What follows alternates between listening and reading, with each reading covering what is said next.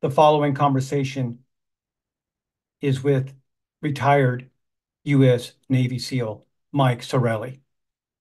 Mike served in SEAL Team 3, Task Unit Bruiser, the most decorated Special Operations Task Unit of Iraq of the Iraq War, where he led many major combat missions. Mike Sarraille is a subject matter expert in the area of leadership and human performance. In 2020, Mike became a best-selling author with the release of his book, The Talent War: How Special Operations and Great Organizations Win on Talent. This definitive guide helps businesses and business leaders develop world-class talent by tapping into the assessment and selection process used by the U.S. Special Forces. In my opinion, Mike Sarraille is a hero. He would probably disagree with me. You can connect with Mike and his team at talentwar.com. Enjoy. He's uh, been around for decades, and uh, people said it just can't be done, especially if you don't have a private jet. Well, nine veterans, mostly special operations guys, came together. Well, which is to say, I planned the entire thing for 18 months, and uh, we did pull it off. We set four world records by doing it in six days, six hours, and six minutes, and proving uh, everyone wrong. And we did it on commercial air. So uh, we did it. Each continent was in honor of one of our fallen. So the documentary, which is filmed and documented and produced, directed and produced by the guy who did the Blair Witch Project, which broke every indie record, still holds them. Right. Did the film, and so it's it's adventure. It's the story of of amazing men who gave their lives for this country, as well as you know through the eyes of the men that knew them. Um, Drama. So it's it's a lovely piece. We've gotten great feedback on it, and it got picked up for theatrical release. Great. And it's called 777. 777. They said it couldn't be done. Couldn't be done. And you're not raising money. It's just honoring these men. No, we raised money for Folds of Honor. We raised okay. 2 million when we did it. And a good portion of the ticket proceeds go to Folds of Honor, plus everything we raised through just awareness. Uh, our ultimate goal is 7 million, which would be fifteen no 1,400 scholarships for spouses and children of fallen and disabled uh, disabled uh, service members, educational scholarships. Gotcha. Gotcha. All right. So let me ask you this, because eh, if you're in the military, if you're disabled, you obviously have the VA. And uh, I work with, I do some volunteer work for a couple of uh, veterans organizations. And one of the things that we emphasize, one of the things that we do is is help our our veterans access these these uh, benefits that sometimes they're hard to access because whatever. The and then and then there's a lot of them. There's some that are specifically for the service person, and there's some for their families. So why raise money when these there is this access to veterans care? Uh, veterans care is not going to cover uh, benefits or education for uh, spouses and children. You can roll your Montgomery GI Bill over to one of your kids. Uh, but that was that was like within the past decade that that change happened. But whenever you go through the government, it's tedious. Folds of Honor approves these scholarships. And if they had more money, they'd approve as many as they can. And $5,000 is not you know $40,000, but it aids families who the service member, if they're still alive and disabled, who's just having a rough go at it. Um, it just it takes a lot little pressure off the uh, the families. The reason we chose Folds of Honor is 91 cents of every dollar. Uh, and this is why they have platinum rating on all the the Charity uh, Navigator and the other the other uh, platforms that rate charities. That's why they have like a top rating, because they put their money where their mouth is. Yeah. And for you people that don't understand this, I would say most of these large charities, the the cancer charities, the uh, you name it, a lot of these massive charities maybe 20 cents, 30 cents for every dollar actually gets into the hands of the people they help. It's a very small amount. And and because they spend so much money uh, with their awareness campaigns and marketing, and and some of these charities pay uh, their CEOs goo gobs of money, which again I don't I don't hold that against them, but uh, a lot of people just don't understand. If you donate a dollar to most charities, that charity may actually get their hands on 20 or 30 cents of that dollar. And there, there's always the the horror story and, and they're a good organization and they've they've re, they've reset but the wounded warrior foundation had a ceo that was having these lavish uh extravagant events and they found out that only like nine cents on the dollar were actually going to the programs but they brought in all new leadership uh and they're, they're doing great work hey every organization stumbles from time to time especially if you have a corrupt or unethical leader and um, they, they they brought in some generals and and it's it's doing good work now. Yes, absolutely, absolutely. I, I want I want to say this um, because I I I love this quote and it's about you. It's it's uh, there are few men that I could count on without question and without hesitation, hundred percent through all the horror and the fear and the pressure. There's always some guys I knew without a shred of doubt that would stand beside me and hold the line no matter what. They would never let me down ever. And Mike Sarraille is one of them. Mike, this is the part I really love. Mike has done more for me and for this for the teams and for our great nation in the world that the world is ever going to know. And that is by your buddy Jocko Willink. That's high praise. I I I have not heard that um, and and I I, I appreciate that. Uh, I'm probably uh, not as deserving of those comments, but um, appreciative. Well, I, you know what, Mike, I, and I think that generally speaking, when you look at the Navy SEALs and the special ops, there is a lot there that goes on that we as civilians will never know. That it's it's it's just something that is that uh, we, we, we don't hear about you know, uh, let me rephrase it. A lot of times we don't hear about when a Navy SEAL uh, dies in combat. We we don't hear about what their sacrifices that you guys go through. We don't hear.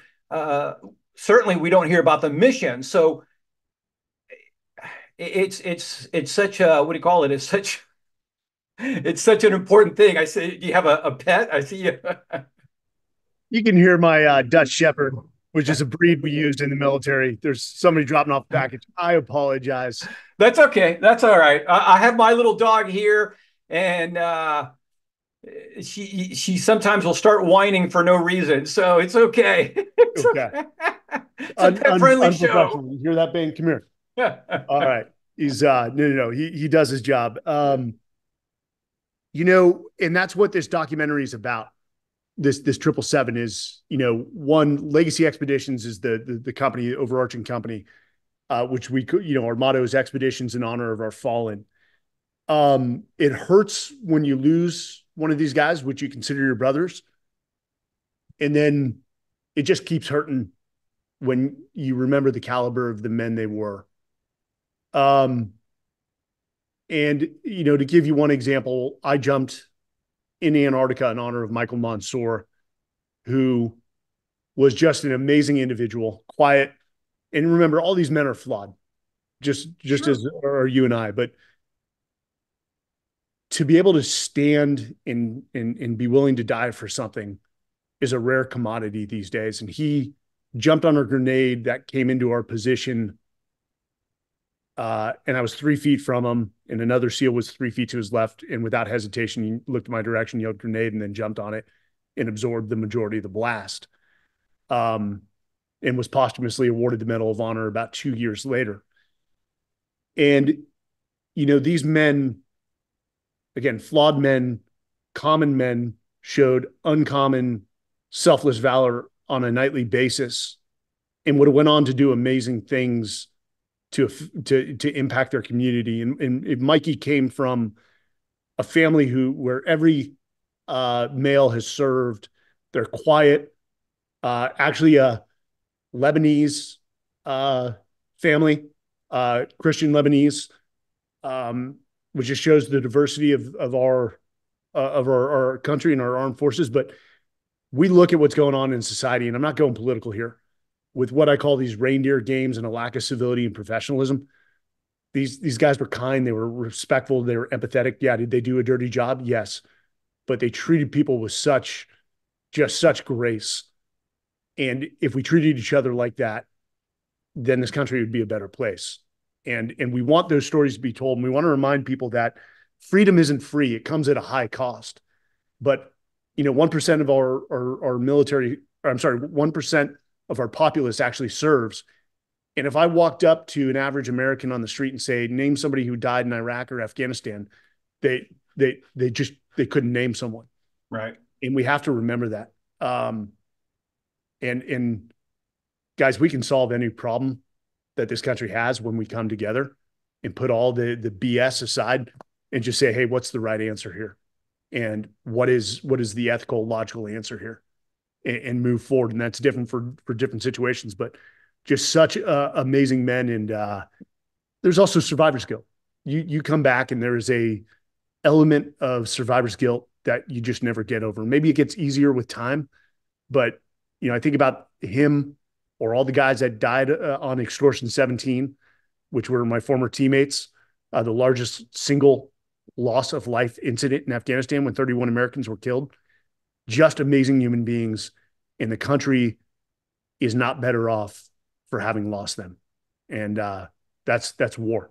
War is stupid, but war is necessary as long as humans exist and evil reigns and evil, you know, lurks in certain places. Men have to go forward and try to eradicate that evil. And um, these men were willing to raise their hand and go right? And, and I want to point this out. One of your your best-selling book is about talent, and we're going to get into that.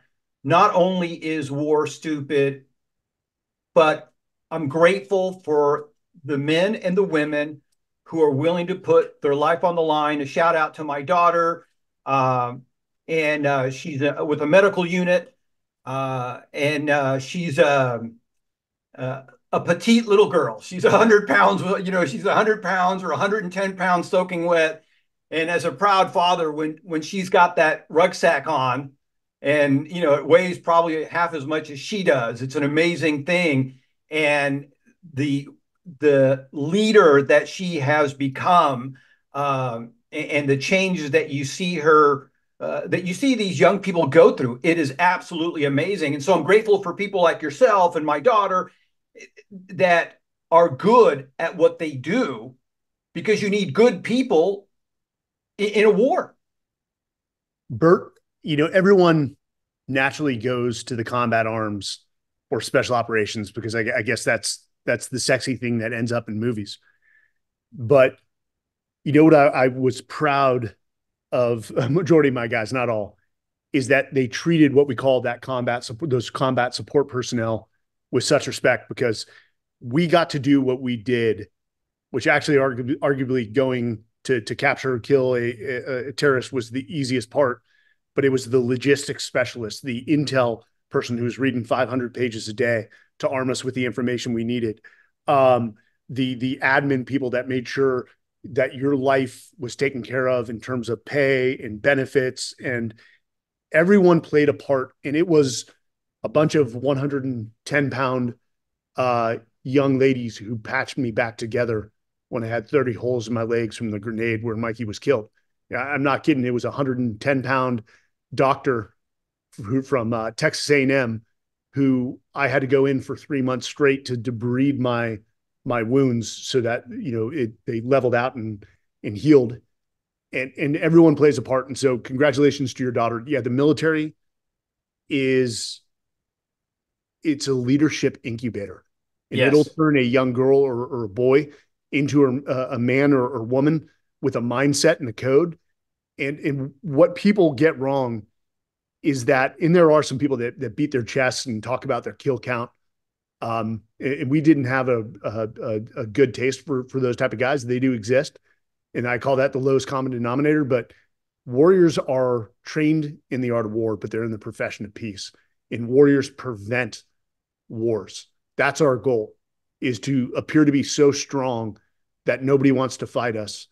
Um, but that is a, the biggest misconception that people think the military just wants to go forward and kill people. No, we're very good at that. But uh, when you do that, arguably, it breaks you as a human, mentally, spiritually, physically. And uh, I had a good buddy who said a great line. He said, War leaves a fingerprint that can never be washed off. And those people are never the same. Now, just because you're broken, does that mean you can't come back and do amazing things? And, and there are thousands upon thousands of stories of veterans who've come back from war and started companies or are in in elected positions or are running nonprofits that are just doing impactful work. And that's those those are the military veterans that that I know, and they are they're not broken. When society says we're broken, that's sort of ironic coming from a society that's in disrepair and broken itself. So, uh, yeah, right on. Good. Right. Okay. Yeah. Well, first of all, if you've made it through high school here in America, you're broken. Yeah. uh, because uh, I don't know about your high school, but my high school and every high school that I've seen, and even some of the private high schools, you, you go through a, a certain level of hazing and bullying, and, and there's this this thing where you're trying to fit in and and you're trying to figure out your who you are, and and I think it's hysterical that the at the age of 18 we're going to tap this kid on the shoulder and say, okay, make your lifelong decision. What do you want to do for a living? What? I have no experience, no no skills in making a decision. I have I don't even know who I am, but I think we're all broken. And and and the reason I can say that uh, because it takes on average the average human doesn't find out who they are or what they want till about the age of 35.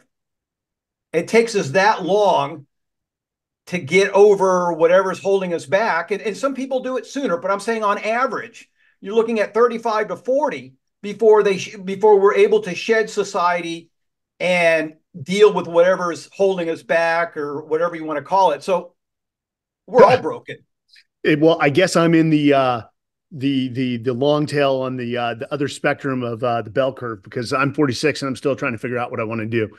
Um oh I loved I so when people say, Hey, do you miss the uh the military? I, I say I don't miss the circus, but I miss the clowns. Um uh there's the military is still government and there's some infuriating incompetence but uh you know as you look at high schools and I, there's so many ways to create a better better program i yes. don't believe in kids going direct to college i think in general stanley mcchrystal advocated that for this um that young men and women go work for two years in a, a, a variety of roles to identify what their passion is. Because at 18, you don't know what you don't know. Right. And then additionally, you know, the greatest education, I, I fully believe this, is world travel. And I'm not yes. talking Paris and Rome. I'm talking to other in the trenches. world countries, it, it, not not in harm's way, but in seeing how the other world lives. I mean, one of the how old was I? 44 when I went to Nepal, and that was one of the most spiritual educational trips to see people that have very little but are so grateful for what they have. And we we need to do a better job. And then additionally, teachers need to be paid more. If oh my gosh. got paid more, you would attract a different level of talent into the teacher pool. Like people who are competent, who are ethical, who are great coaches and mentors that could really reinforce critical thinking for for these young men and women who deserve deserve it. But yeah, education is a is we are so behind other countries. It's it's it's it's not even it's sickening, and especially with the critical thinking and not indoctrinating kids one way or the other. Let them come to that conclusion on their own, but challenge them to think critically about both sides of an argument. Absolutely. And I would add not only do we need to pay our teachers more, but they need to be held accountable. Look, if, if you and I are working uh, and, and, we're doing a crappy job. We're going to be held accountable. Maybe we get written up once or twice, but eventually we get let go. Teachers need to have the same fire, the same accountability, bring their passion. But look, if you're unhappy being a teacher, which a lot of teachers get burnt out, and I get that, it's time for you to go. If you're no longer effective, move on. Tenure is one of the worst concepts I've ever heard of. If, you know, could you imagine in the military or a business, a CEO steps into a, a seat and, and he's like, Hey, I'm, I'm tenured. You can't fire me. No, you're not performing. You're gone. And no, there are very few industries that have tenure because you have to continue to perform. Right. Bottom line, it's in and, and people talk about, well, my company needs to be loyal to me. Well, that's a two-way street. You also need to be loyal to your company. And if you are, hopefully both both both ways are, are operating at full speed. But uh, at the end of the day, I don't care what industry you're in, you're in the business of performance. And if you don't perform, you've got no no credibility, no argument to to remain in that position whatsoever. Absolutely. I agree. We as humans are about more. And it's not just, uh, you know, a lot of people get hung up when they see these really wealthy people and they make more money and they just like to focus on, man, how much money do you need? That's just one measurement. But, you know, can you get more physically fit? Can you get, can you increase your intelligence? Can you increase your spiritu- spirituality? Uh, you talked about, you know, giving the community. Can you give back to the community more? It, as humans, we're a reflection of the universe, and I'm a big believer that the universe is about more. What's the next step? What What are you going to do now? Great, you, you you just accomplished that. Let's celebrate that. Let's take a couple of days off. But what's the next thing? Otherwise, you die. There's no point being on the planet. Evolution, evolving, evolution. So you know what I really, it, who I was when I joined, and I started in the Marine Corps before I went into the SEALs. Uh, you know, didn't graduate high school with my class not from a lack of of aptitude, is there was just no focus. If it didn't involve girls, booze, or parties, I, I just wasn't focused. And I don't say that to to be flippant. Um, it's just who I was at the time. I wanted to have right. fun, and went into the Marine Corps. And my dad, who I did not see eye to eye with, and ends up he was right on ninety nine percent of the things he was trying to teach me. Said another, like a completely different human being came out of Marine Corps boot camp and then the, after a few years, the Marine Corps said, Hey, we want to make you an officer. We're going to send you back to school. And this was before the war. I went from making a 2 9 in high school, which most of my GPA was because I played sports and they give you an A for playing sports. Um, I graduated A&M with like a 3.65 honors. I assure you, I didn't get smarter during that period of time. And to your point, going and doing something other than than going being 18 and going direct to college was so valuable when I stepped back into college at the age of uh, 23 or, or, or 22 with maturity, with a sense of discipline and accountability. And it was a completely different uh, experience. So, you know, uh, it, there's just, I think psychology, this is what I say psychology by nature is lazy. It defaults to the path of least resistance. As we get older, this is for people in the 30s, 40s, 50s, 60s that you know, we tend to just want things to be the same. Right. Well, if you fall in that category, then you stop evolving and you stop being relevant to the people around you.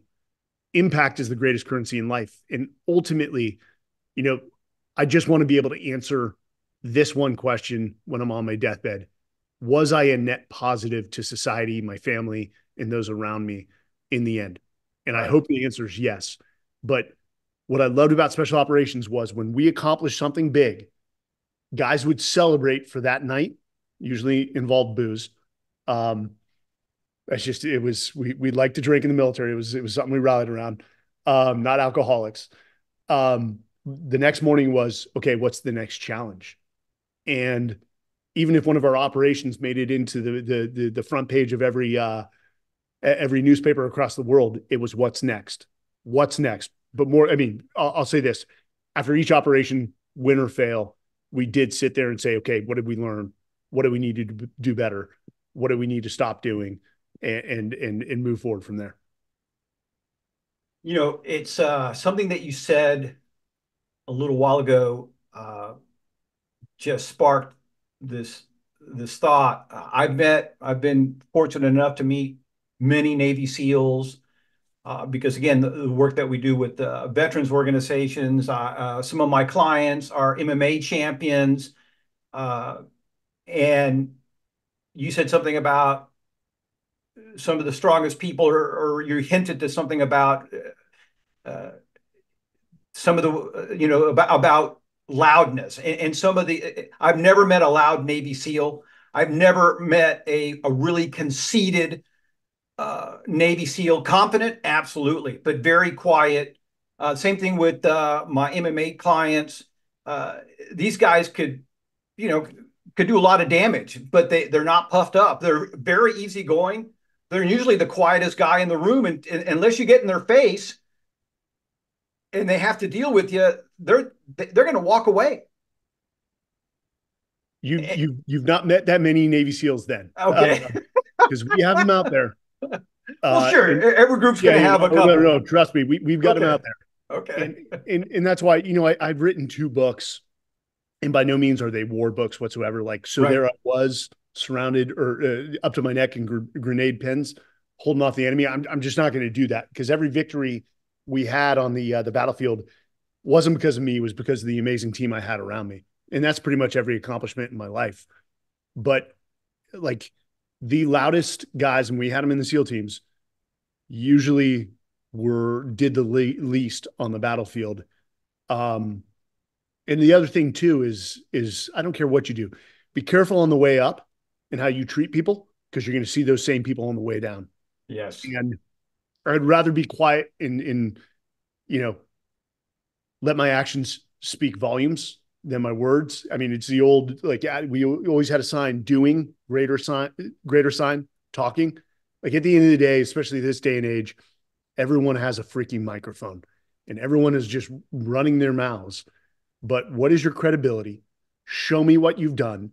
Have you been able to been, be, take that and be successful in a completely different domain? Uh, or are you a one trick pony who, who met with some success at some point? you just you got to be careful and and that always that doesn't come from it comes from the military and great leaders above me but it also comes from my old man and my mom they were just like just always be humble hungry smart and just just let your accomplishments speak for themselves and other people speak for you not not not yourself. Yeah absolutely. Absolutely. I, I think humility is currently missing in our in our political arena.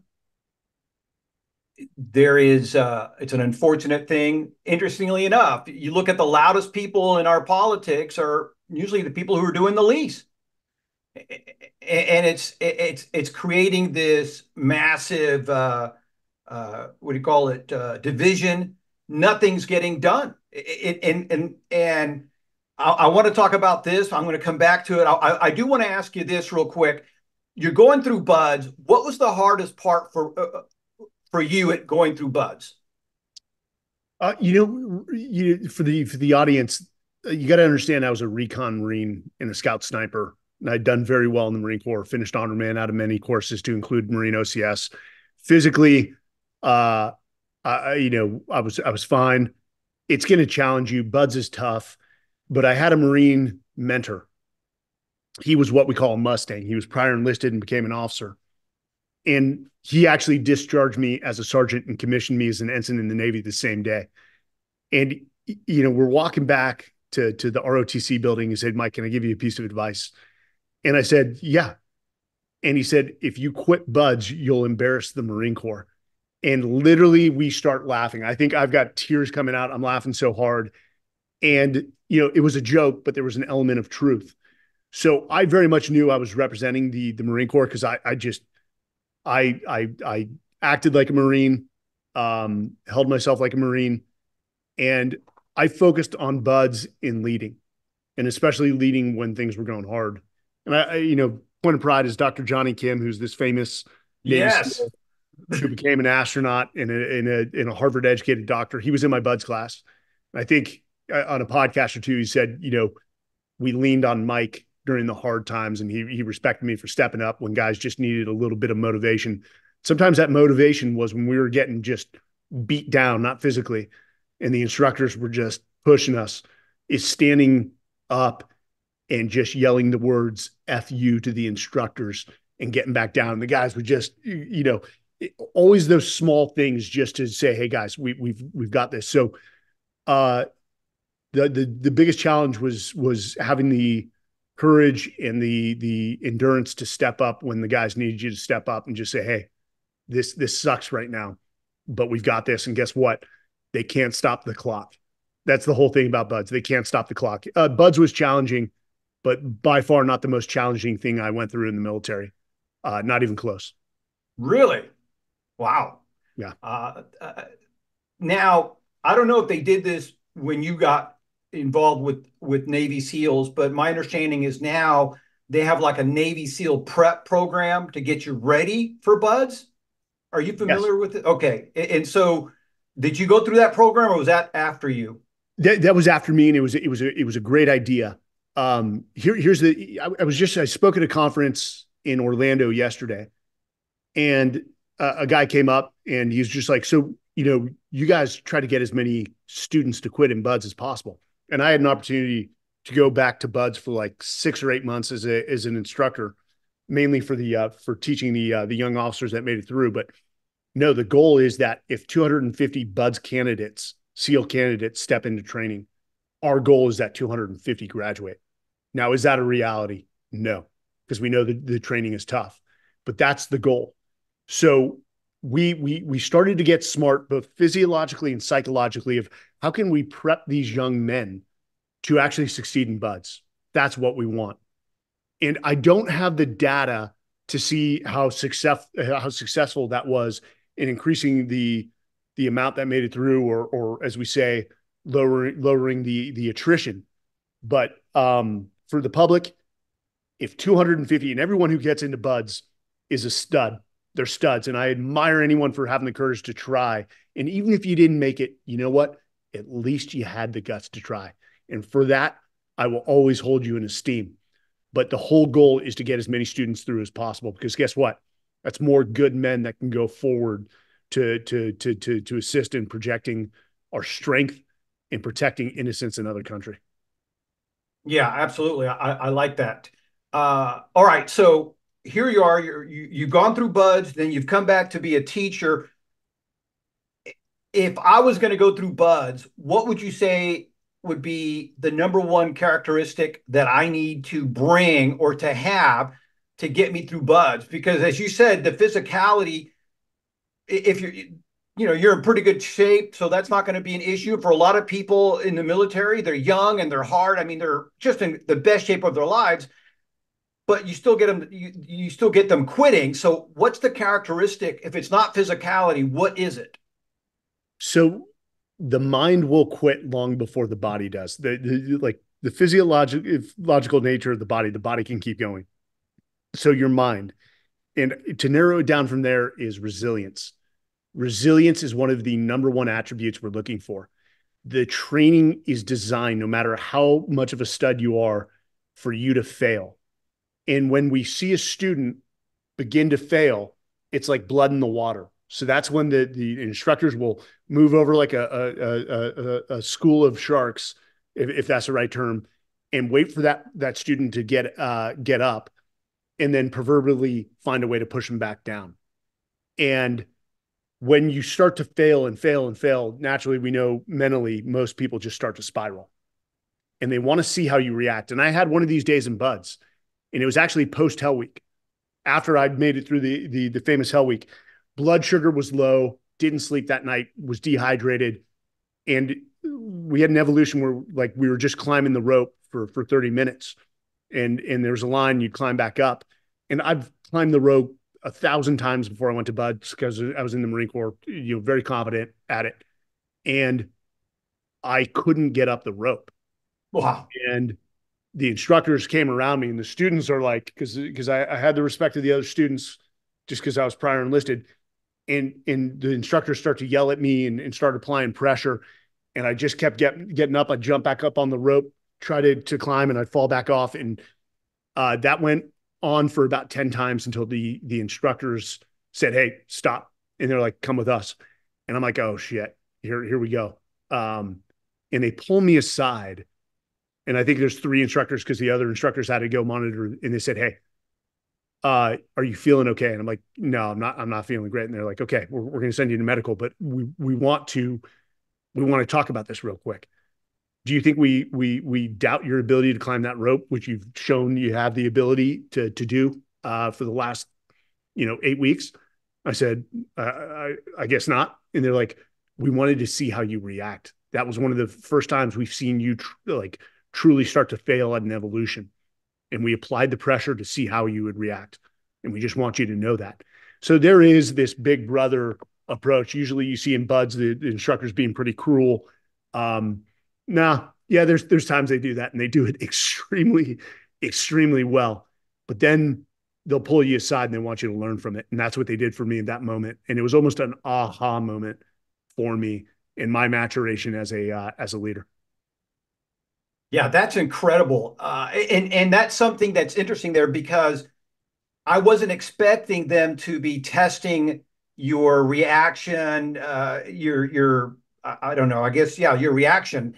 That is something that that is a complete surprise because you think that they that uh, maybe they were uh, uh, what do you call it? Just checking your skill, your physical skill, and and the fact that they they made you do it like you said 10 times and after that they said hey are you okay and we're just testing your your patience really right your your your resilience to deal with with this pressure situation because it's not just you but it's everybody watching you and all the pressure that they put you under for whatever that amount of time was. That's that's a pretty cool point of view.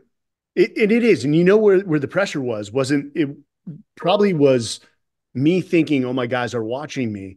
And it was that external fear of what are my guys thinking right now?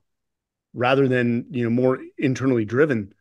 Um and then i remember that story and I, did, did we put that in the talent war? Jesus i forget at this point. I think we did but um no it was it was I, I am who i am because i am a product of great coaches and mentors to include the BUD/S instructors and everyone else that that touched me at some point in my military career but you just talk about if you have the ability to be introspective and reflect on everything you learn along the way, much like your daughter right now, like you come out of the military armed to be successful at whatever profession you choose. Absolutely. Uh, one of one of my favorite things when I talk to my daughter and she's stuck or or whatever uh, she feels as though she's uh, being challenged, I always talk to her about if you can carry a 50 pound rucksack for 20 miles there are very few people who can do that. There are very few 110 pounders who are willing to go through that. And, and she did it with shin splints and the whole bit. And so that's one of the great things about doing something that physically hard because it's not only physically hard, but it's mentally hard. Like you said, the the the body's willing to quit, the mind's willing to quit, and you have to sit there and say, no, I can do more. I can take a few more extra steps. And so just experiences like that that you can fall back on and say, I did this, so I can do this other stuff too. It and it's everything is contextual. And, and, and I've got to stop and think about things now in the business world of, oh man, uh, the hard economic times, expenses are a little out of control. I've got aging accounts receivable. Uh, the funnel is not filling like it used to and you feel like the world's coming is just crushing, you know, caving down on you. And, and finding a way to tie my past experiences to say, okay, it's not the end of the world. Yeah, we're definitely struggling. What can I apply from my past experiences, what I've learned to get out of this dilemma right now? And rather than survive, actually start thriving. Um, and the more you fall, the more scars you have in life. It's what we call the growth mindset. And I talked about it in the the, the Everyday Warrior, uh, no hack practical approach, which was about the men and women I served with. A growth mindset doesn't insulate you from hardship, but it does prepare you to respond in a healthy and positive manner. And that's why all the failures in, in your life, all the the cumulative failures just make you stronger and stronger and stronger. So I like when somebody says I'm broken, I'm like, you're damn right I'm broken. I've got a hip replacement. Uh, but you throw any problem towards me and my guys, we'll find a way to to, to we we have a slogan: no fail. We will right. not fail. We'll we'll find a way to win. And even if we lose, yeah, it, you know, we didn't lose, we learned. So right. everything, it's God's way of saying, hey, this one didn't work out, but I just gave you one of the most valuable lessons you can take for, forward with you in the business world. Unfortunately, sometimes they're they're very costly mistakes. Absolutely, and I love this growth mindset because I think we were talking about the universe and expansion. That is, to me, a great uh, encapsulation of uh, of our time on planet Earth. It's having that growth mindset. If you have that growth mindset, then, like you said, you're either going to learn, you're going to succeed, you're going to try again. You're, you're. It's all an experiment, and sometimes I think people get so st- stuck in success or failure when most of the time you're not going to become successful till you fail a few times. They're they're interactive. Hard choices lead to an easy life later on. Easy choices lead to a very hard life for for your duration on this earth. So it's and you've heard this. It's let me say this: the reason we run SEAL training the way we do, uh, which is designed to push you outside your mental and physical comfort zone, is, because that's where true character emerges. Uh, coincidentally, it's also where true learning and growth take place. So you've got, we call it do hard things. You've got to continually find ways to challenge yourself in order to evolve and learn. And the second you want to stop doing hard things, that's when you start to, to again, lose that natural curiosity, that drive. You don't want things to change and remain the same. And that's just not life. Life is constant evolution. And the yes. second you stop doing that, you're you're done. Yes doing hard things gives you that edge. It, it gives you a reason to get up early in the morning and and crush it. If somebody's not excited about their life, it's because, to your point, they're avoiding the hard things. They're somehow we have been told, or there's this covert programming, or something's out there that we should avoid the hard things. We should avoid the problems and only go for the easy. And people do not understand, like what you just said, the hard things, going and doing hard things makes life easier. You gain self confidence. And let me tell you, a confident person isn't afraid. They're not afraid of failing, they're not afraid of trying again. And, and they have that confidence that no matter what, we'll figure it out. Failure, failure is uh, life's greatest mentor and, and I don't say that uh, to belittle the actual coaches, mentors I've had in my life, but uh, failure is not an indictment of your character or worth as a human being. It just means you're human, and it's the mechanism through which true learning and growth take place.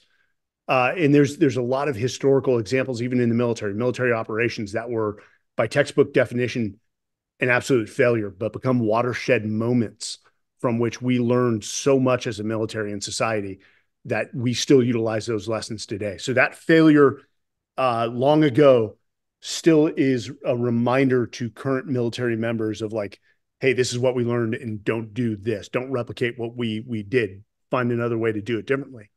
So it is it, this again. Mindset from an individual perspective is the most powerful thing in the world. Organizationally, organizational mindset is the foundation to culture and if you can get people to adopt that mindset as as as deep as you can within the organization, and will you always get people to adopt that that mindset, you know, 100%? No. But if you can get 60, 70, 80% of of people to adopt that mindset and behave eh, you know through their actions with routines and habits dude you're you're going to outmaneuver your competition any any day any day of the week and twice on sunday and that's hard that's hard for business leaders because one it, Bert, here's here's a secret, and you don't say uh, hear many military guys say this. Leading in the military was not as hard as leading in the private sector because my my guys and my gals went through one year of assessment and selection, bleeding, sweating, crying. Um, it, it, there's a sense of pride and emotional buy-in that, that they come out the back end, and even if we disagree on something, we say, "Hey, we may disagree, but this is the mission." They're going to get it done and and you don't have that within the civilian sector because there's no sense of homecoming and belonging there's there's there's a far lesser degree of pride in being 100 dedicated 100% dedicated to your organization in the mission and so that's why business leaders have to accelerate at a different level than we do in the military and actually try to attain a higher level of leadership than is required with what we do. Um, and that's the challenge for a lot of organizations and a lot of, of private sector leaders. And that is, that's a tough nut to, to crack. Sure. I think a lot of that starts with the interview process. When you're going into the military, they ask you a set of questions and, and you got to take the ASVAB. And it, it, just, just like like a lot of organizations in the military, if you raise your hand and say, listen, I don't want to do this or I can't do this, they'll show you the door. If if you were to start a company and and start asking those questions, hey, we we're our environment is about this mindset and this is what we expect from our people you're you're going to have less people interview for, for that position but at least they're going to be somewhat aware of what is expected and i think that expectations or standards are have become kind of wishy-washy in the private sector. So there is a lot of governmental restrictions that come down that make it harder on on, on employers. But I, w- I will step back and correct you on one thing. So to get into the military, those things you just uh, mentioned, the ASVAB and the questions, we call those requirements to get into the interview process. If you want to look at the SEALs, the actual interview process is the one year of basic underwater demolition school SEAL training. That's the interview process. And for the ones that make it through, we we applaud them. Say, hey, you're part of the team now. Congratulations, you just uh, passed the entrance exam. So what you do moving forward will determine your your credibility and reliability uh, and reputation as a SEAL. Right. Um, I'm a firm believer in one. You you have to have a systematic interviewing process that's actually looking for the attributes required for the job, and that's that that takes intention then the onboarding program. And this is a missed opportunity for businesses. A very robust onboarding program that, yeah, I'm talking get the HR practitioner stuff out of the way. This is we we we pay people through ADP. This is also your benefits. Oh, submit you know PTO through Workday, things along those lines. Here's the what the evaluations look like. No, I want to get into the core values. I want to get into the mindset. I want to get into the history of the company. I want to get into behaviors, how you accelerate within the company. I want to make sure that's very understood. And if people need to memorize our values uh, verbatim, that then hey, that's a requirement. I'm a believer that everyone should be on a 90 day assessment. And at the end of the 90 days, we're going to tell you whether you're you're a cultural alignment and a fit for this organization or not.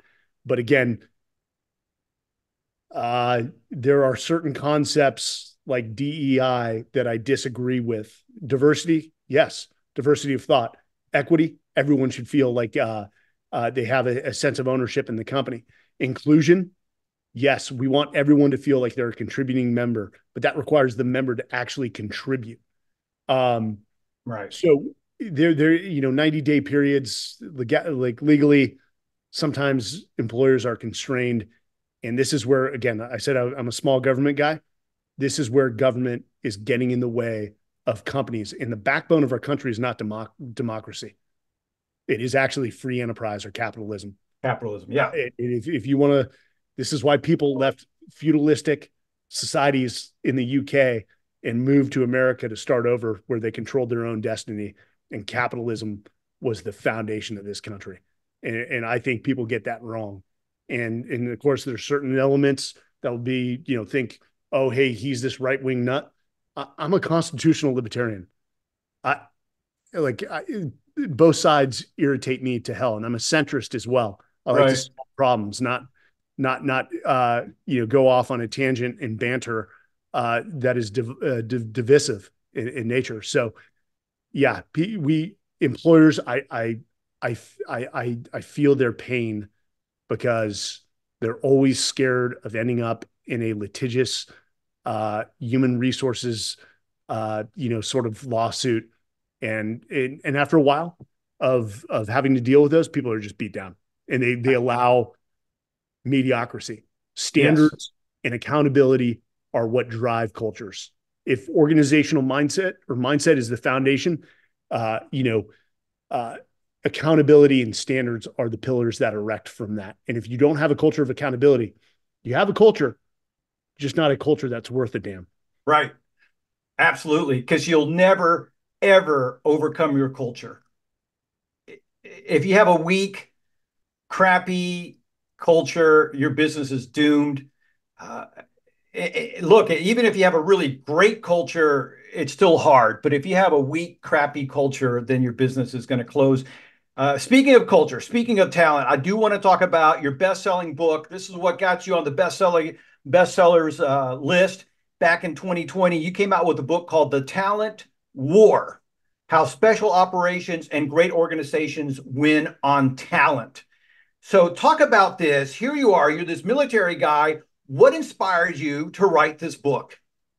Yeah, you know, to go from from being a SEAL and in JSOC to all of a sudden in the human resources space was not a uh, uh, a leap that I, I, I had envisioned. But I started an executive search uh, firm with a friend uh, and also co-author George Randle, and we were we were dedicated to putting veterans into small to medium sized businesses. And we dealt with a number of companies, and I swear to God, we would put a candidate in front of them that was an Army Special Forces soldier just a renowned human being that had no industry experience, but maybe 20 years in the military. And then they'd have another candidate who's a civilian, but maybe had eight years of, uh, of industry experience. And the employer would call us and be like, We love your candidate. He's so great. His mindset, his attitude, his character, but we're going to go with the other guy. And, we'd ask why. And of course, you know, we're disappointed, but we, we, we'd try to, to ask meaningful questions to better understand, to, to arm us, to sharpen our blade. And they're like, yeah, we just need somebody to step in and do the role. But even though our guy demonstrated or, or gal demonstrated that they're they they have they're high in curiosity, they're high in trainability or learning. Um, and I swear to God, this happened probably a dozen times. The employer would call back three weeks, six weeks later and say, Yeah, we made a bad hire. This guy who who we hired with industry experience is toxic. And people like he's destroying the culture. And our next question would be, okay, it, hey, this happens. Bad hires happen. Uh, it's like some a batter that step, steps up to the plate. They're they're they're going to strike out more than they they hit, and um, they would say, "Well, we're not going to do anything about it because I can't fire the guy because my boss will look at me and say, "What are you guys doing down there?" And they would stick with that person and allow the culture to to to be tainted. And George and I would have conversations, and then one day I, w- I remember I was watching like uh, the Housewives of something because my wife likes reality t- TV. And I looked at my wife because I'm not paying attention. I said, I- have got to make a phone call. And it had to be about 7 p.m. And I called George and I'm like, we're writing a book to help small to medium sized businesses start selecting people based off attributes, you know, hungry, humble, smart, that they can train to be the leaders they need within their organization. And that's what started the process. And, you know, I think two, two and a half years later, the book was done. Wow, that's incredible. It, but it, you know, it makes sense to me. Unfortunately, uh, that experience, they're going to go with this person that uh, has some experience in in in that job, and and, and in one sense, it kind of makes it makes sense on one level. What I don't understand and what blows me away is for them to call you and say, "Hey, we made a bad hire, but we're not going to change anything." That is un- is not something I understand. It doesn't make sense. Talk about the I don't know. That's just a dumb mindset. So one, I think it's a testament to the relationship we build with our clients that they felt comfortable enough to to call, and we we also provide advice because you know the con- conversation goes beyond hiring for that one position. Um, again, psychology, and we address this in the book.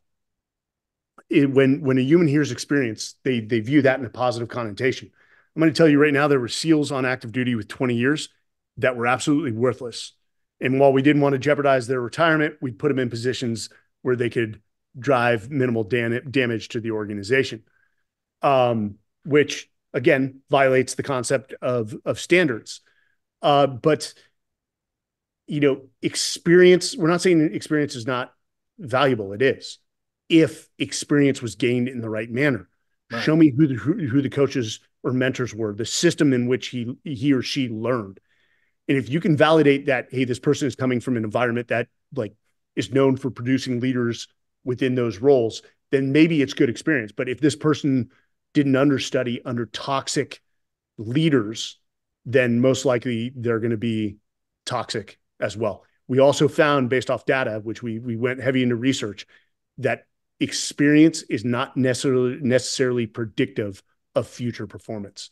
And how many times do we, we have somebody who's got 10 years in the company and then all of a sudden we hire some young buck out of college and they come in with fire, curiosity, uh, vigor, and then just start performing. And usually that that person with 10 years of experience all of a sudden hates that younger individual with no experience, saying this person is rocking the boat. And I actually disagree. This this person is coming in and they're, they're showing drive. And right. why, why would you dislike this this individual? Maybe they're threatening you. Maybe you're a B player and they're an A player, and now you're threatened of what they can do. Yes, absolutely. Unfortunately, we do see that quite a bit uh, in our public schools. Uh, you'll see this young, talented person who's got this passion and this drive, and and the uh, the uh, the veterans will suck it out of them, or or whatever. We'll we'll we'll leave that for another discussion. I do want to ask you this. Uh, you talk about in your book, you talk about the talent mindset. What is the talent mindset for you? So the talent mindset is that it is the the the foundational belief that ultimately your people are the greatest asset you have. Can people also be the biggest liability? Assuredly, they can. But at the end of the day, I don't care what industry or, or, or profession you're in. The greatest asset, even though it doesn't show up on the balance sheet, is your people. That's what drives companies, not your technology. That technology was developed by people, it was brought to market by people. So the quality of the team you put on the field will either ensure victory or ensure uh, failure. And George had a great quote that didn't make it into the book. He said, I, I can know when a, an organization has a talent mindset. he asked this when you start to look at your human capital with the same rigor, focus, and, discipline as your financial capital, that's when you know you have a talent mindset. Because most business leaders, you ask them how often you check the P&L, either daily, every Friday, definitely the end of the month. Well, how often are you doing the nine box? Or how often are you talking about succession planning? Or how, uh, you know, when, when are you pulling in your other leaders to talk about your talent and where you need to pour into people in certain uh, uh, areas or, or different departments? And that rarely happens. That rarely happens. And this is why a, a very aggressive, you want to call it a CHRO, a, a chief talent officer, a chief people officer. This is why having an A player in that seat who knows every facet of the business and what's required in terms of talent is is vital to a good CEO in growing that company beyond what he thought was imaginable or she thought was imaginable. Absolutely. Uh, your your talent, your staff, your people, they make or break the company. That's it. I, I, I there isn't there isn't a, a company out there that we admire that doesn't have a lot of talented people. Let me ask you this: Are in the book again? You talk about the hiring process is kind of all messed up. You have a whole chapter dedicated to to the to the the problems or what's so wrong with the traditional hiring process. Talk about this. So th- there's a number of things. Um, you know, we can tell a lot about a company uh, by one how the human resources department is structured. If it reports into legal, it's a compliant a compliance function. If it reports into the CFO, the chief financial officer, it, it's an overhead function. If that CHRO, that chief talent officer, that chief people officer reports into the CEO, then there's a chance in hell that it's a strategic function for the business. But there's all all these pitfalls, you know, uh, the butts and seats mentality. Hey, the economy is booming, demand is more than we can we we can uh, you know supply right now. We need to make 50 hires. People deviate from their hiring process to fill those seats quickly, and then all of a sudden the culture feels the uh, the impact.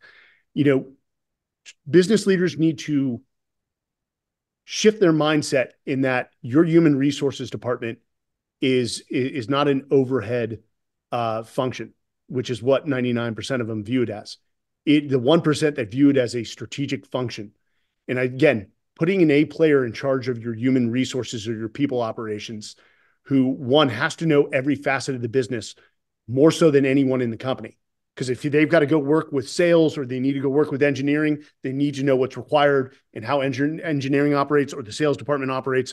And so they've got to be a student of the uh, the business. Um, and, and I'm going to tell you, and I always got to be careful here. There's a lot of HR departments where they basically have an HR practitioner as the CHRO or the VP of uh, of of, of uh, HR or talent, and the person is just uh, concerned about compliance and pay and benefits, and that that's necessary. Right. But a great CHRO is more concerned about the maturation, the retention and development of people, and first getting the right people through the uh, the door. So uh, that's a vast difference. And then ultimately to the hiring process, which we call a decisive battlefield, is one breaking down what's required in every role, knowing what attributes make somebody successful in that role. Because you know what makes somebody successful in sales is vastly different than than an engineer. And then designing a process around that to pull out those attributes in the behavioral interviews, in the assessments, in in role playing, in observation, um, and then also having that process that's systematic that provides you data as you follow that person through the organization and say, hey, Sally was an amazing hire. We need to break her down. If it was like a machine, reverse engineer and find what truly makes her special and work that into the interview process to go find more Sallys. And it takes time. It takes a lot of intention, commitment, and then you got to continually evolve. What the SEALs looked for in the Vietnam era was different than what they looked for in the global war on terror and is going to be vastly different in what they're looking for in SEALs today that are going to face far more asymmetric challenges that, than we did in the global war on terror. And quite frankly, may also see combat uh, vastly more violent than than we did. Sure. Absolutely. Yeah. Again, back to what we started at the beginning of the show. Uh, we're constantly growing, expanding, changing. It's it's the it's the constant in the universe in the book, you you dedicate a uh, a chapter uh, to explain what makes special operations so special. Talk about this.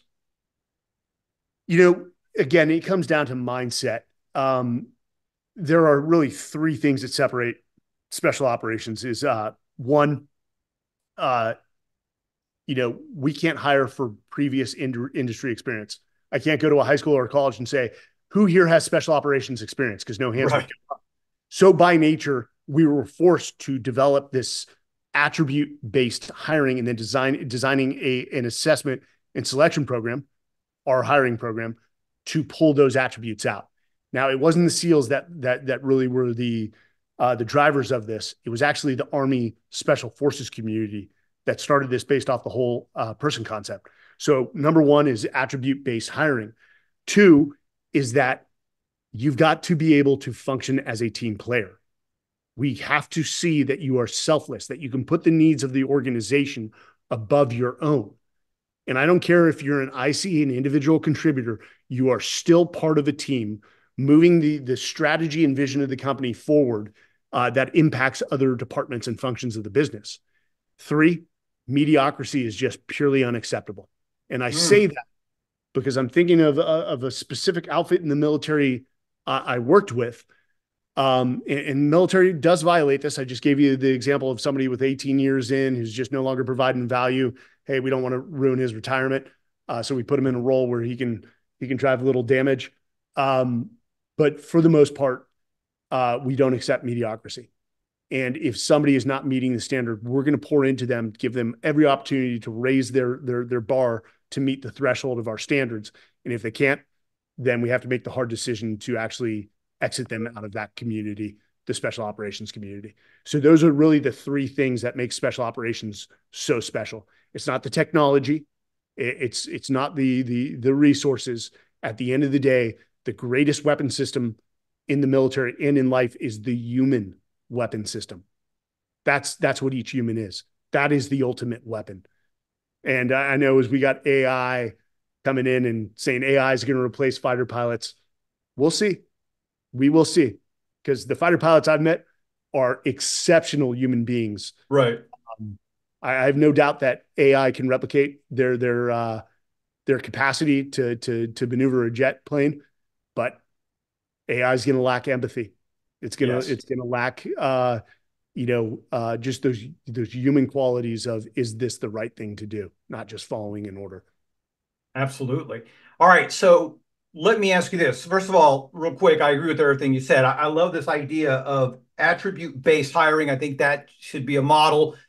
But in every organization, including the military, you're going to come across a situation where maybe uh, two people can't get along, right? Uh, they're they're both talented, they're both good leaders, but for whatever reason, their chemistry doesn't allow them to get along. What do you do in a situation like that? Okay, if if you know the the private sector is no different than the military. Most relationships are arranged marriages. I didn't right. get to select the 40 SEALs in my troop. I was I was I was assigned to this unit, and the SEALs in it are the SEALs in it. Right. You know what I didn't talk about in the talent war was I'm a believer in the you know people ask how'd you lead in the military.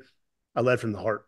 The greatest form of leadership is love, and the highest form of compassion uh, or love is accountability. And for the parents listening, you know what I'm talking about. Because at the end of the day, whether you're leading people in a company or your children, we want to maturate them.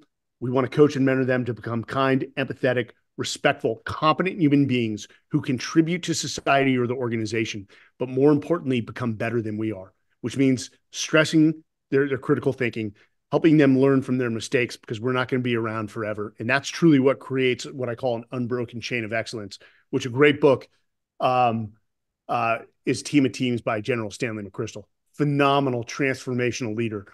Um, but you know, people like, oh, well, you must have, you know, liked all the SEALs you served with. I uh, and my answer is absolutely not. Not all of them like me. And guess what? That's fine. I love them all. Did I like them all? No. Now, this is just being a professional. Whether you like somebody or not, those are your feelings, and you need as a professional to put those aside and ask yourself, do I have the ability to come in on Monday morning knowing what we need to achieve for that week and work with this individual for the good of the organization? And this comes down to professionalism. And if you can't do that, that's usually a you problem, not the other person problem. I don't care if they're abrasive. Trust me, there's a lot of SEALs that were abrasive, that were sure. loud guys. And, and I'm just going to put my ego aside, work with them in the degree that I can to accomplish the mission. And then guess what? Come Friday, you can go your separate paths Never, never shall they meet on the weekend, and, and then just do the same thing again on Monday. So if I was a leader and two people came in, they're like, we just can't work together, they would get a come to Jesus uh, speech from me. And it may, if you're forcing me to make a decision like he needs to go or she needs to go, I, will probably go with okay. Is that is that what you guys want me to do? You you you you can't work together. You're both relieved. You're out. You just demonstrated to me a, a lack of maturity and professionalism that quite frankly I'm not going to allow to to to poison this culture. And it'll send yeah. a message to everyone else. Yeah, I think that's a I think that's a great solution because it does send a message. It does tell everybody culture comes before anything else. If because if the culture becomes toxic or weak, then the company becomes toxic or weak. So I like that solution, and I think I think more uh, HR people and more CEOs need to take that uh, need to take that to heart. The the goat Willie Nelson once said, "Let people be people. It's their greatest strength." A if somebody's a genuinely authentic jerk, just let them be that jerk. If they're if they're still providing to the organization, who who am I to be the arbiter on uh, on somebody's uh, personality? Um, unless they're just destroying the culture, they're being toxic and, and making unethical uh, decisions, then we have a problem. But if they're not doing that and they're just a loud individual, that's just their personality let them do it. And, and if I need to chip away at that through some mentorship and coaching, then then I'll do that. Yes, absolutely. I want to I want to ask you this real quick. I know we're getting tight on time, but I do want to talk about the nine fundamental character attributes of talent. These are the nine that you look for. Talk about this. So uh, you're, you're putting me on the spot, and I'm going to pull them up. I just briefed this uh, yesterday.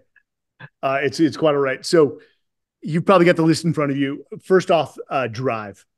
Um, drive is uh, fundamental to to success. If somebody's not driven, you're you're gonna have real problems.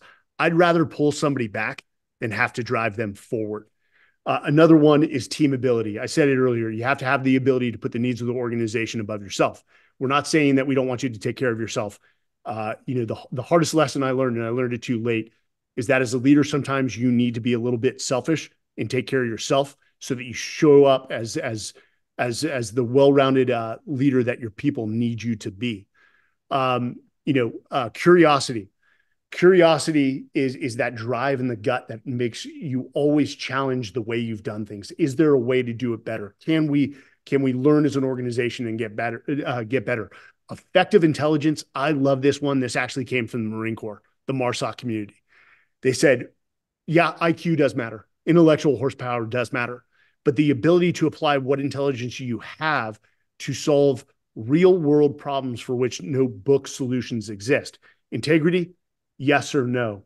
And let me say trust.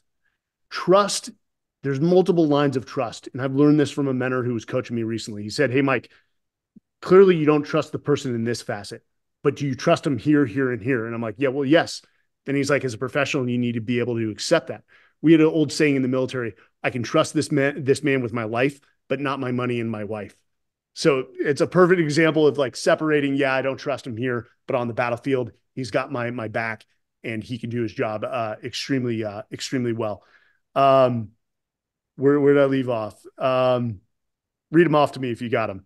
All right. So we have drive, resiliency. Resiliency, we hit that. It's hey, you're going to get knocked down. I need people who are going to get back up. It's that famous uh, Rocky Balboa speech, I think in Rocky yeah. Five, where he's like, "It's not it's not how hard you can punch, but how hard you can get punched and keep and moving. keep moving forward." Adaptability. COVID was a perfect example. There, there's no there was no textbook for how to deal with COVID, but having the ability to adapt in the environment, not to survive but to thrive. What else? Emotional strength, I think, is the last one we haven't covered. Yeah, EQ. Um, you know, your ability to regulate your emotions and and not have such highs and lows is vital as a leader. When everything's exploding around you, when guys are wounded, do you remain calm? Because remaining calm is infectious. If your men and women, your subordinates see you, and even during the worst of times, you're taking a breath, you look at them and say, Hey guys, we're going right and they'll maneuver and they'll actually replicate that that that that calmness. But if you're running around like a chicken with their head cut off, then what do you think your people are going to do? And then that's where you have no effectiveness in, in volatile environments. So your ability to regulate your emotion also has to deal with relationships. Again, you work with somebody you don't like, control your emotions, and just always take the higher ground. Yes. And and look, even in some of our families, you know, we we love some of these people that we really don't like or don't get along with. You talked about not getting along with your dad. Look, I didn't get along with my dad uh, until much later in life, and and it's just just part of life. You got to deal with people you don't like. Yeah, well, you, you know, it's not that we didn't like our dads. Um, right. We, we, we we we idolize our parents, then we uh, demonize our parents as teenagers, and then yes. you demonize them again uh, as you mature, and you're like, hey, you know what? Actually, you're trying to uh, to, to teach me, to mentor me, uh, to show me the right way of do, doing things. Sometimes through stories about how they failed and they didn't want you to replicate it. So that that's pretty common. Uh, yes. My old man is a good, as well as my mom, good, good human being. And bro, we get it wrong. We we we're we're you know like two peas in a pod now, and he's the guy I call for advice, especially since he was he was successful as a business leader of, hey, dude, I, am only five years retired. Uh, I'm running this company. I'm in this situation. Dad, w- what would you do in my my uh, my shoes? And he'll give me the best advice that he can, given the uh, context of the situation. I love that. I love that. All right. Speaking of uh, situations, who are the best clients for you? Are you talking a startup? Are you talking a five man team? Are you talking a 50 man company or a thousand man company? Who's your sweet spot? Uh, you, I say small to medium sized businesses. It doesn't matter where they are in the, the the life cycle of business. If it's a startup mode, we just know we need to find people that can uh, operate with little process and procedure, and maybe start to put it in place as they grow, but are highly resilient. Because we all know startup is like just getting punched in the junk every single day.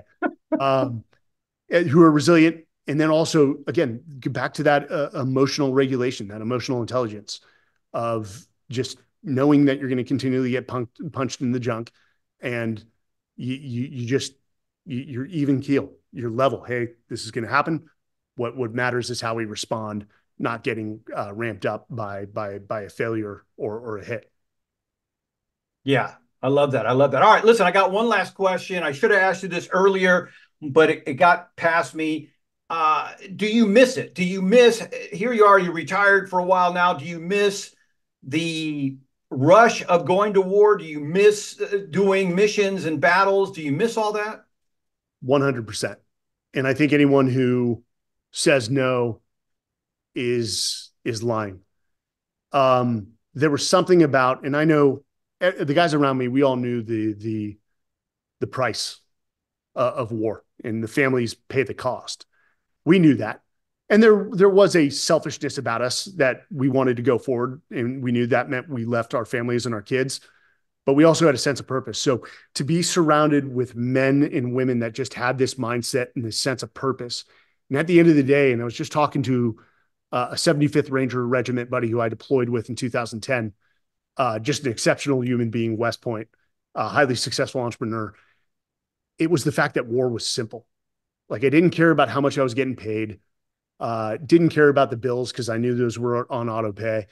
Um, you had this high sense of purpose you did miss the thrill of as a team, you knew you were going after very bad people. You knew you were going to get in a, a, firefight. And at the worst of times, that's at that's when we were at our very best. And I miss that that homecoming and belonging. I miss that tribe, that camaraderie, uh, what the Marine Corps calls the esprit de corps. And quite frankly, I'm never going to have that again. And that's the, the the transitional challenge of of starting to recognize, hey, I was lucky that I even got that in my life to feel that such that that's such a sense of brotherhood that 99.9% of humans will never feel. And so it's taken me a while, and I'm only six years retired, uh, that I'm one of the fortunate ones. I'm one of the fortunate ones that I did come home, but I got to feel that sense of brotherhood that very that humans just don't feel that that it's an emotional intimacy. Right. But that's what I miss. And and quite frankly, we we we really believed in what we were doing. If we if the American public who's been somewhat sheltered from some of the things we've seen, the videotapes we would recover, and the atrocities that Islamic terrorists conduct on innocent people, we we were we were laser focused on what we were doing and why we were there. And so I don't want to say it was fun, but there was a lot of purpose behind it. Yeah, absolutely. Uh, Mike, if somebody wanted to find out more about you or hire you as a speaker, as a consultant, what's the website they go to? MikeSarraille.com, which, uh, God, I guess low in modesty. Uh, my, my agents are like, hey, you need a website. So I had to create MikeSarraille.com, not, not the highlight or, or, or uh, I consider a, high point in my life, but MikeSarraille.com. People can find me and then find uh, the other ventures I got going on through that. Great. Right. You know, we didn't get we didn't get to talk to you about your other book, Everyday Warrior. I'd love to bring you back at another time, talk about Everyday Warrior, uh, because it's I think that's important as well. Mike, thank you so much for stopping by today. Hey, Bert, thank you for having me. This has been a great conversation. I've learned. So thank you for your time.